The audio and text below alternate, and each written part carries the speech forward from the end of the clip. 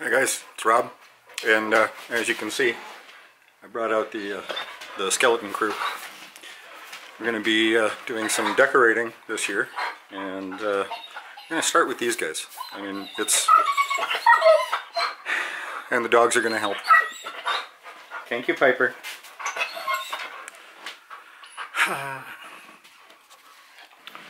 so what I want to do with them is I want to try and dress them a little bit more.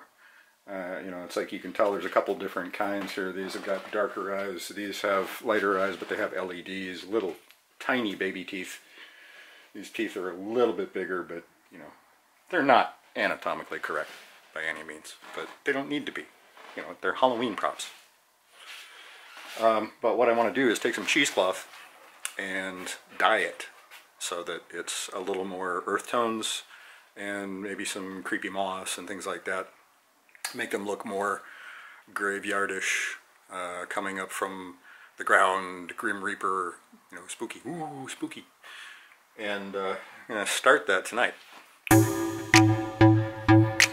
Alright, so here's what I got. I got, right now, five packages of cheesecloth. These are four square yards.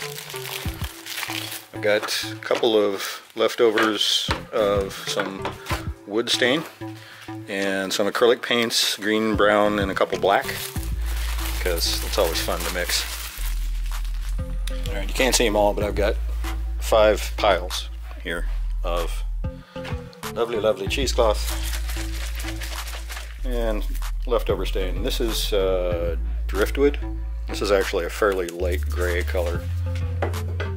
It's always easier to add color take it away once it's on. Oh yeah, and gloves. Oh good, look, mess. Hmm, one of the nice things? Mess.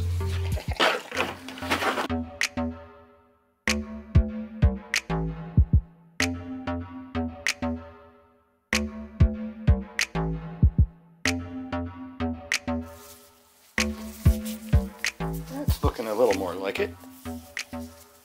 There's still a lot of uh, white in here, but that's okay because we're not done yet.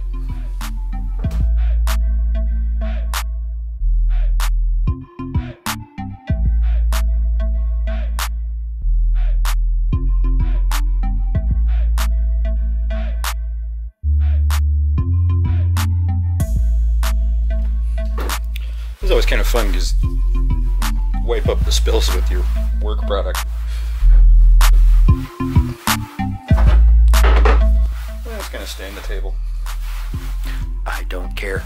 This table has seen a lot of craft use. I'm going to try the Sedona Red. It's a little darker color than the uh, American Oak or whatever that is.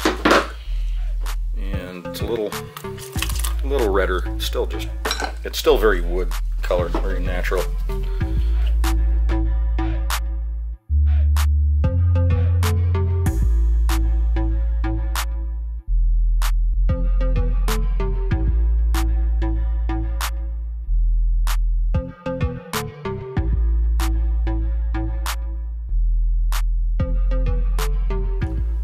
I'll kind of give you an idea of how it looks when it's on the skeletons.